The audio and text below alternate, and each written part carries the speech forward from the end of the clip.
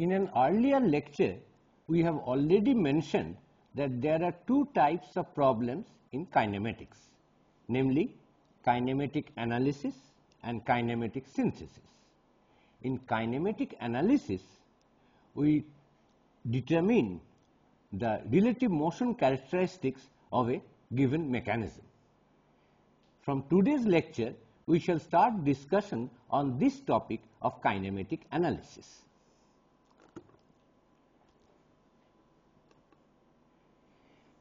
Broadly, we can classify the kinematic analysis problems into three headings, namely displacement analysis, velocity analysis and acceleration analysis. For all these three types of problems that is displacement analysis, velocity analysis and acceleration analysis, we can use either a graphical method or an analytical method. In today's lecture, we discuss only the graphical method and that too only of displacement analysis. Later on, we shall take up velocity analysis and acceleration analysis. Let us see what do we mean by displacement analysis of a mechanism. If we are given the kinematic dimensions and the position or movement of the input link, then we should be able to determine the position or movement of all other links by this displacement analysis. In the graphical method, first we draw the kinematic diagram of the mechanism to a suitable scale and then the desired unknown quantities are determined through suitable geometrical constructions and calculations. We shall demonstrate this graphical method through a series of examples. However, before going into the details of each and every example, let me list the main points that one should remember while using graphical method of displacement analysis. So, the main points are first of all we must remember that the configuration of a rigid body in plane motion is completely defined by the location of any two points on it. That means, if we know the location of any two arbitrary points of a rigid body in plane motion, then we know the location of all other points on that rigid body. The second point is, as we will see when we solve the examples, that very often we will need to draw two circles which are intersecting or a line and a circle which are intersecting. Now we know that such intersection points can be two. That means two intersecting circles in general intersect at two points. Similarly, a line and a circle also intersect generally at two points. However, sometimes it may be necessary to choose the correct point of intersection for the problem in hand. As I said, all these points will be shown very clearly when you solve those particular examples. The third point is sometimes we may use a tracing paper as an overlay and we will see that this will be very convenient especially if there are higher order links present in any particular mechanism. And lastly, we must know that the graphical method of displacement analysis cannot be used unless there are adequate number of four links closed loops in that particular mechanism. Unless we have adequate number of four link closed loops, the graphical method of displacement analysis cannot proceed. So, let me start with the first example which is a slotted lever quick return mechanism which are used in shaping machines. First I will show you the model, then the kinematic diagram of the same mechanism, then pose the question of displacement analysis. This is the model of the quick return mechanism that is used in a shaping machine. This is the cutting tool. This tool holder moves in a slot in the frame of the machine. This is what is called the bull gear which is rotated at a constant speed. And here is a block which is hinged to the bull gear and this block moves up and down in this slotted lever and the slotted lever is hinged to the frame at this point and the slotted lever is connected to the tool holder by an additional link. So, we have a 6 link mechanism here where the continuous uniform rotation of the bull gear is converted into the to and fro motion of the cutting tool. Now, the cutting tool during the forward motion is doing useful work and we have to maintain a proper cutting speed. However, during the return stroke of the tool, this is not doing any useful work, so I would like to make the return faster and that is why it is called quick return mechanism.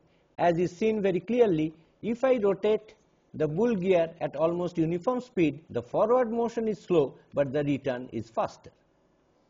This is the kinematic diagram of that 6 link slotted lever mechanism, the model of which we have just seen.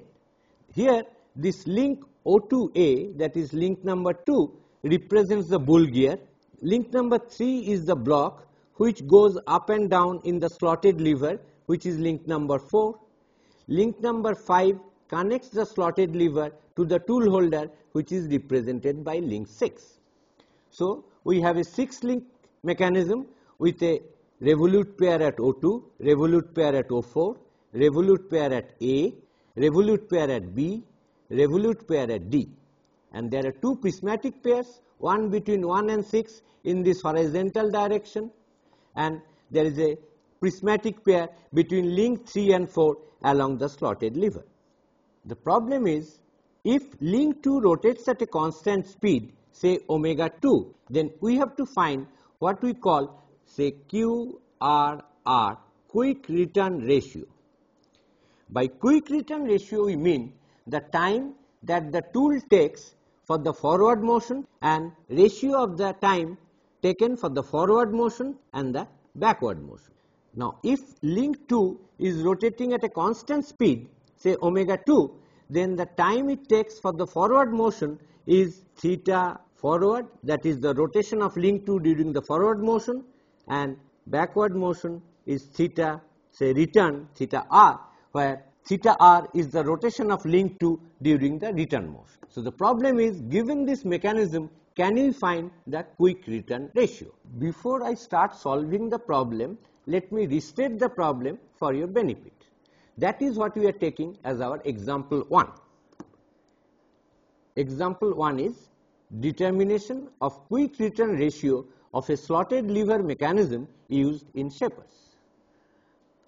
It has already been seen that the quick return ratio which is defined as QRR is equal to theta f by theta r, where theta f is the rotation of link 2 during the forward motion and theta r is the rotation of the same link 2 that is the bull gear during the return motion of the cutting tool. Of course, we are assuming that the angular speed of link 2 remains constant. Let us now return to the kinematic diagram of the same slotted lever quick return mechanism in which link 2 that is this line O2A represents the bull gear of the input link and link 6 that is this block D at D represents the tool holder or the cutting tool. As this bull gear rotates counterclockwise direction, this tool moves from right to left and left to right. This motion from right to left is the cutting motion and left to right is the return motion. Our objective is to determine the quick return ratio of this particular mechanism and also to determine what is the stroke length of the tool.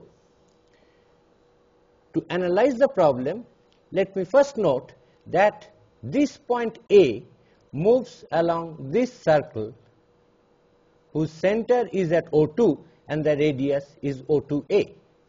That is this circle represents the path of the point A and I call it Ka. To locate the extreme positions of the slotted lever that is this link 4, I draw a tangent, two tangents from the point O4 to this circle Ka.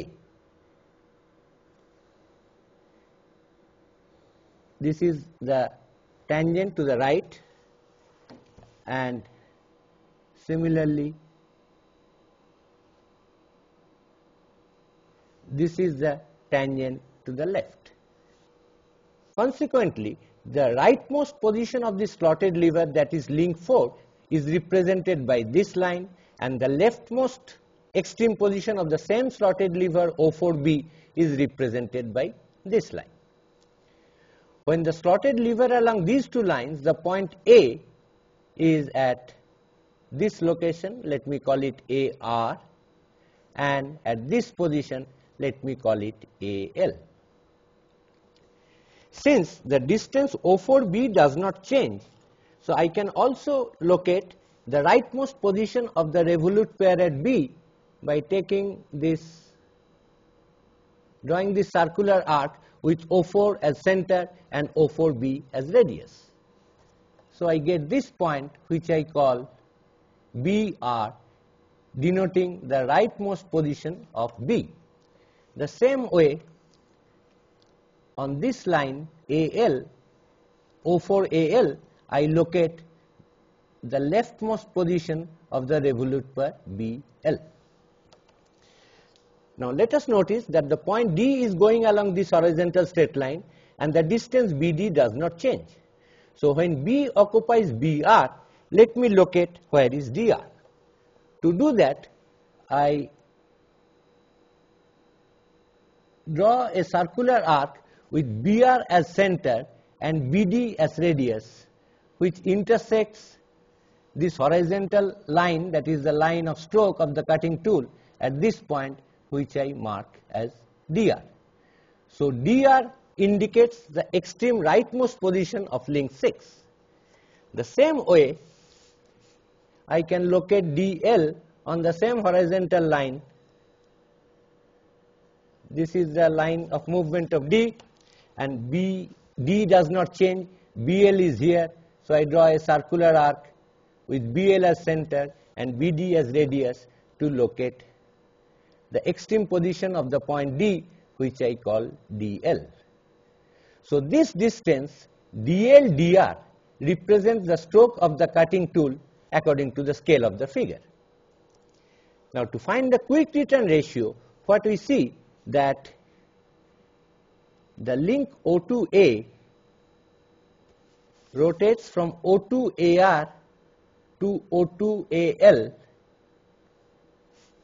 during the forward movement. So this is the angle through which link 2 is rotating through its forward movement which I call theta f. Same way during the return motion the point A is going from AL to AR that is link O2A is going from O2AL to O2AR and rotating through an angle which I call theta r. So, you can easily determine the quick return ratio Q R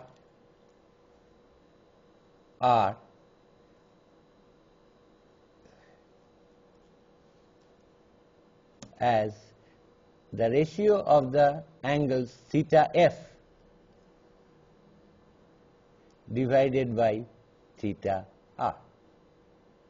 So we have solved the problem, we have determined for this given slotted lever quick return mechanism the quick return ratio given by theta f by theta r and the stroke of the tool as dr dl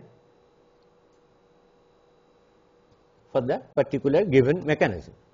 We can also note that if the stroke length dr dl has to be decreased then I have to change the length O2A and as we decrease the length O2A the distance dr dl will change that is the stroke length of the tool will be decreased. However, as we decrease the radius O2A then this tangent from O4 to this circle KA that is these points AR and AL move upward and the angle theta f and theta r both tend to the value 180 degree. Consequently, QRR which is theta f by theta r when both of them tend to value same value 180 degree QRR reduces. That is this mechanism is okay for producing quick return effect so long the stroke of the tool is sufficiently large and the quick return effect continuously decreases as the stroke length of the tool decreases. We have just now explained that the slotted lever quick return mechanism used for shaping machines is not good for smaller stroke length because then the quick return ratio tends to become 1. That is the quick return ratio decreases with decreasing stroke length. However, for slotting machine where the stroke lengths are normally short, we have to have a different types of quick return mechanism where the quick return ratio is independent of the stroke length. Such a mechanism is called Whitworth quick return mechanism. So, we shall see first the model of such a Whitworth quick return mechanism, then pose the same problem as example 2, determine the quick return ratio of this Whitworth quick return mechanism and also see that how is it independent of the stroke length of the tool. So, before showing you the model and solving the problem, let me restate the problem for your benefit. This is our example 2 that is determination of quick return ratio of Whitworth quick return mechanism used in slotting machines. As I have said earlier, we will also show that in this mechanism the quick return ratio will be independent of the stroke length. This is the model of that Whitworth quick return mechanism. Here the cutting tool is this one which is moving in this horizontal slot. So, if we rotate the input link at a constant speed as is obvious that the forward and return motion of the tool is taking different time. It is going much faster on this direction and coming back much slower in this direction. So, if this we considered as the cutting tool which is cutting in that direction, then we should rotate it in the opposite direction. It is cutting slowly and returning much faster. Next, we shall see the kinematic diagram of this Whitworth quick return mechanism and analyze its quick return ratio. This is the kinematic diagram of that Whitworth quick return mechanism. As we see, this is also a 6 link mechanism with 5 revolute pairs and 2 prismatic pairs. This link 6 is the tool holder and link 2 is the input link which rotate at constant angular speed. Link 3 is the block which goes along link 4 at this prismatic pair. Link 4 is hinged to the fixed link at O4, link 2 is hinged to the fixed link at O2 and link 4 or 5 are connected by this revolute pair at C. Link 5 and 6 are connected by this revolute pair and link 6 has a prismatic pair with fixed link 1 along this horizontal direction. For these given di kinematic dimensions, our objective is to determine the quick return ratio. If the link 2 that is the input link rotate at constant angular speed. First thing to note that the stroke of the tool that is this 6 is entirely decided by the length O4C. When D goes to the rightmost position in this direction, C comes on this line. O4C and CD becomes collinear. Similarly, for the leftmost position of this link 6, again O4C and CD becomes collinear, but C comes on this side on the line O4D. And the stroke length of the tool is obviously equal to twice of O4C because the maximum distance is O4C plus CD and the minimum distance is CD minus O4C. So, the total movement of the tool is given by twice O4C. That is the stroke length is changed by changing the length O4C. No change is made in the length O2A. Whereas as we shall see that the quick return ratio will be entirely decided by the link length O2A, the position of O2 and the position of this horizontal line. This is the kinematic diagram of the same Whitworth quick return mechanism which we have just seen. This link O2A is the input link number 2 and this link 6 is the output link that is the tool holder. Due to continuous uniform rotation of this input link 2, this tool holder 6 oscillates along this horizontal line. Now, the point to note is this point A moves on a circle with O2 as center and O2A as the radius. This is the path of the point A, let me call it KA. Again we should note that the points A, O4 and C always lie on the same straight line and O4 is never moving. So, when the point A comes here that is the point of intersection of Ka and the line of reciprocation of the tool, let me call this point of intersection is AL. Corresponding to this position of A, since A, O4 and C are always on one line, C will be also on this horizontal line and at a distance O4C from O4 because this is also a link length which is not changing. Corresponding position of C as C moves on this circle with O4 as center and O4C as radius. So, this point I will call CL that is the leftmost position of C correspondingly D will move here such that CLDL is CD because this link length is also not changing. So, this is the leftmost position of the tool holder let me call it DL. Exactly the same way when the point A occupies this point which is the intersection of Ka and the line of reciprocation of the tool through O4 let me call this point of intersection as AR.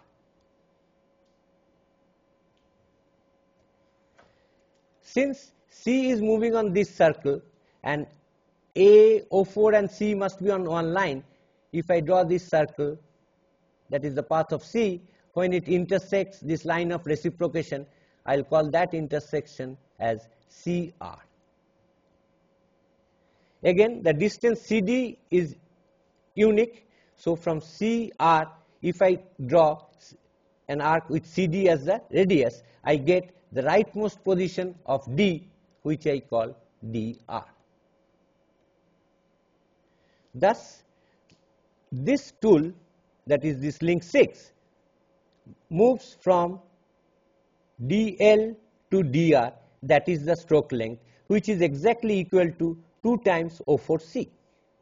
However, during this movement from dl to dr, the point A goes from AL to AR and from dr to dl, it, the point A goes from AR to AL. As we see the O2A, this link is rotating with constant input speed. So, from right to left, the rotation is this angle which I call theta f. And from left to right it rotates only through this angle which is 2 pi minus theta f.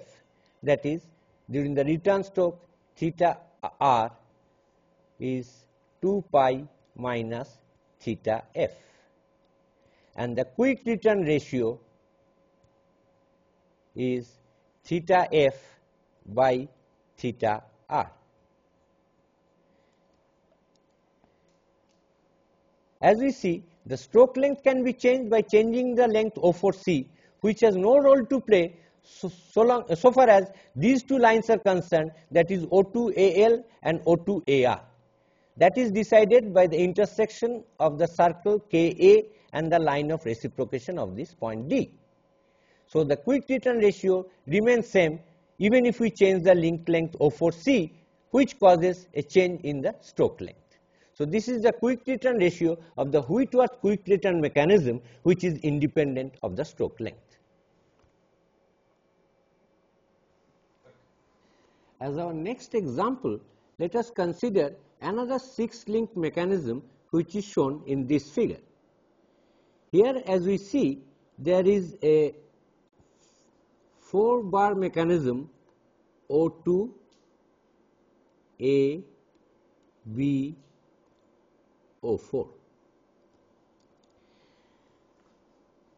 Link 4 of this 4 link mechanism that is this link is connected to another link 5 at this compound hinge B where 3 links are connected namely 3, 4 and 5.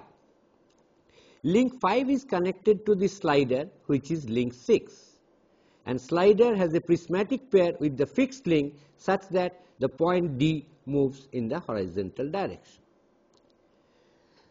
The question is if this link O2A that is link number 2 rotates completely what is the stroke length of the slider at D.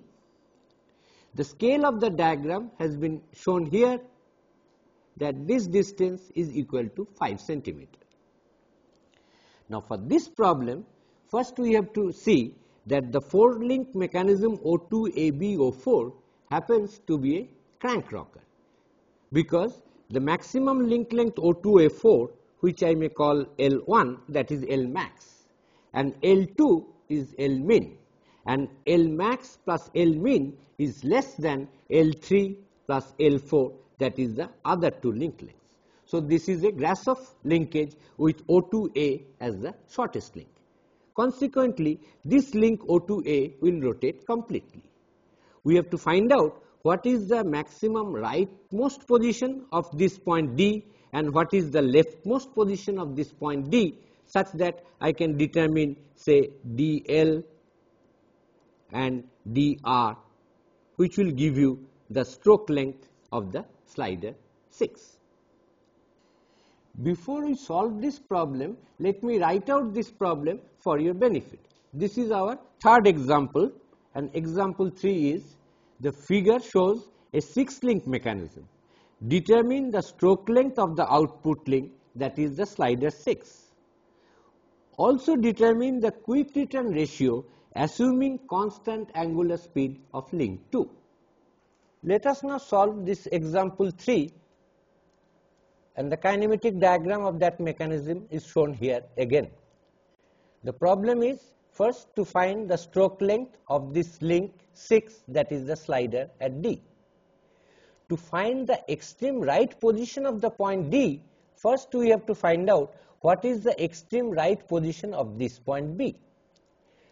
Due to this length O4B that is link 4, B moves on a circle with O4 as center and O4B as radius. This circle represents the path of B. Let me call it KB. Now, the extreme right position of the point B will be taken up as we have discussed earlier when link 2 that is O2A and link 3 that is AB become collinear. So, the extreme position of B let me call it BR when O2BR is equal to O2A plus AB. So, I take O2A plus AB and from O2 I mark that distance at BR. Let me repeat B moves on this circle and at the extreme position O2A and AB become collinear. So, O2BR becomes O2A plus AB. Similarly, for the extreme left position again link 2 and link 3 become collinear, but O2A comes here let me call it AL and ALBL. This ALBL is equal to AB and that becomes this point becomes BL. That is O2BL becomes the difference of the link lengths AB minus O2A. So, I take the difference of O2 AB and O2A and take that from O2 and mark it on KB. So, the link 4 oscillates from O2BR to O2BL. So, this is a crank rocker mechanism and this is the rocking movement of link 4. Now, BD is of fixed length and D moves on this horizontal line. So, from this BR, if I mark, this is BD, from BR I mark this circle and wherever it intersects the horizontal line through D, that determines the extreme position of D, I call it dr. Similarly, from BL again taking the same length BD, I draw a circular arc and wherever it intersects this horizontal line through D, that determines the extreme left position of D that is DL. So, this distance DL dr determines the stroke length of the slider 6. Now, to determine the quick return ratio that is the time taken from left to right and right to left, I can find out assuming of course that link 2 rotates at uniform speed. For BR, the corresponding point of A, this is the circle on which A moves with O2 as center and O2A as radius which we call Ka. So, for the extreme right position A comes here let me call it AR and for the extreme left position that is BL this point is which we have already marked as AL. As the link rotates uniformly from right to left the rotation of O2A is given by this angle that is the angle between O2AR and O2AL. And from left to right the rotation of the same link 2 is given by this angle that is 2 pi minus this. So, if I call from right to left that is the forward motion is theta f and the return motion is theta r. Of course, theta r is nothing but 2 pi minus theta f and q r r the quick return ratio of this mechanism we obtain as theta f by theta r. Let me now summarize what we have learned today. We have done the graphical method of displacement analysis and have discussed three different examples of six link mechanism to show how graphically we can determine the quick return ratio or stroke length once the kinematic dimensions of those mechanisms are given. We started with a slotted lever quick return mechanism used in shaper machines where we saw that the quick return ratio depends on the stroke length. Then we discussed the Whitworth quick return mechanism where the quick return effect is independent of the stroke length and in the third example we have seen how from a Grashof's crank rocker linkage we can again get a quick return mechanism by using two more extra links and converting it to a 6 link mechanism. We have also seen that whenever we need the point of intersection of a straight line and a circle, we have to choose the correct point of intersection. In our next lecture, we shall discuss a little more involved and difficult problems on displacement analysis.